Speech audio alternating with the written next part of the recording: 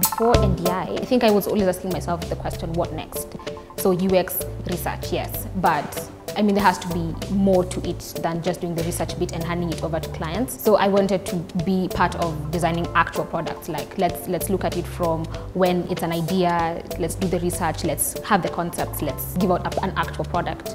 My next step after that was to do something to do with product design, and I was very much exploring how to learn that and NDI just provided the best opportunity because it's not just product but service design. There's, there's a lot more than, than just designing you know, an actual product or service. So there's so much more at NDI, what I'm getting at NDI, as opposed to getting that in a university that only specializes in just one um, discipline of design. Before joining NDI, I started my career in interior design consultation. Some of the most memorable projects I've worked on since joining NDI are like Project Moja and Project Tuelewane. Project Moja was about creating a marketing campaign for a free internet provider. The client was BRCK and one of their SupaBRCKs has internet for matatus. The thing that was exciting about this project was one, it's marketing and it's human-centered design. Those two did not correlate in my head at first. Some of the exciting parts of it were being able to meet people where they are and understand from that dynamic how much they really know.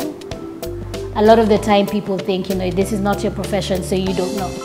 But as long as you're the one experiencing it, then you definitely know something about it. So learning from the Matatu conductors that this is how to market to our people. They're not marketers, they don't see themselves as marketers, but they give us all the answers.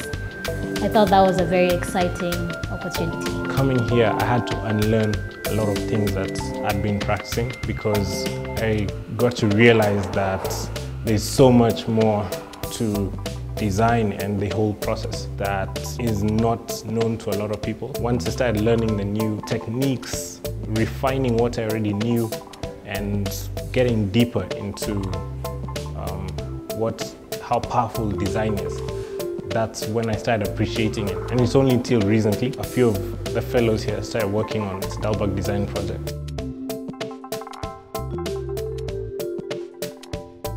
I got to see how essential what we're learning here and how it's practiced out there is for the whole practice.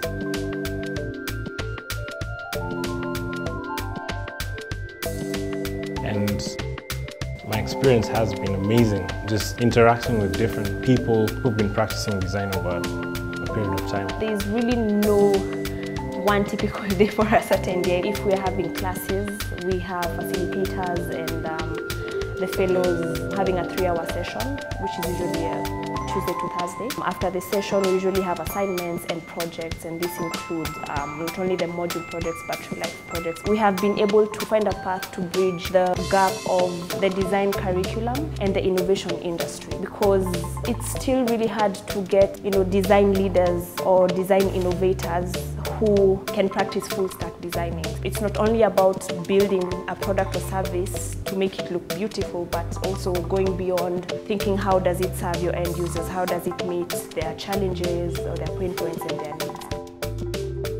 I worked on a project where we redesigned a game-based curriculum for teaching uh, menstrual hygiene management, MHM. What was interesting about it, oh my goodness, everything. I think the demographic that we were working with, so um, young people, kids between 9 years and I think 18, 19 years old, uh, young adults.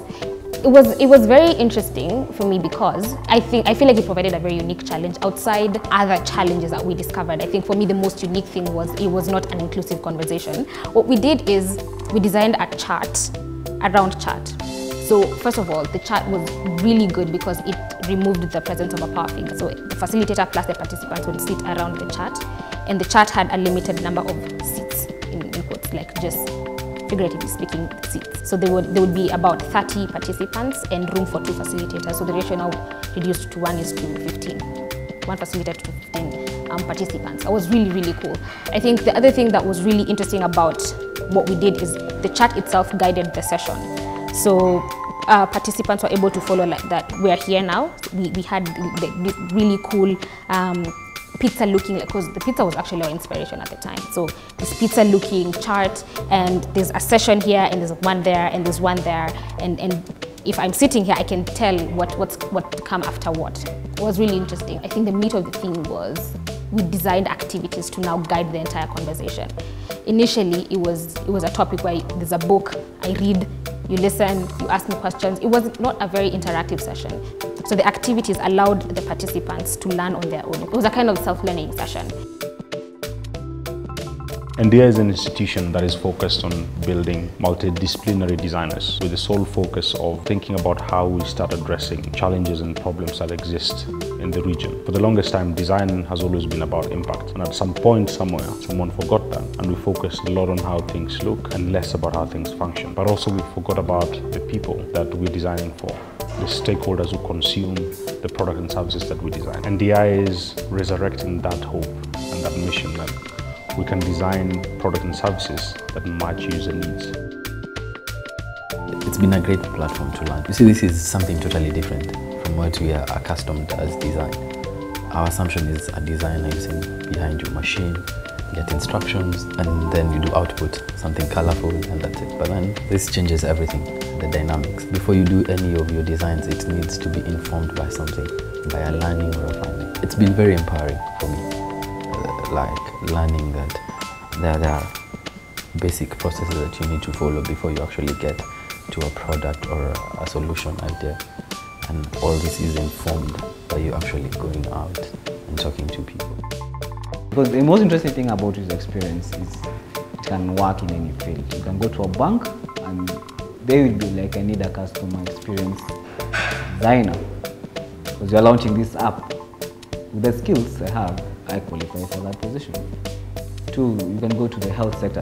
What you're doing right now with uh, Project Tuelewane is in regards to the health sector. With an open mind, I'm sure the opportunities are quite immense. Wherever I am, I hope I'm creating an impact, not for today. I want to work on things that will last a lifetime. I'm looking past the idea of me making a product or a solution or a service that suits my community. Our world is being opened up to so many possibilities.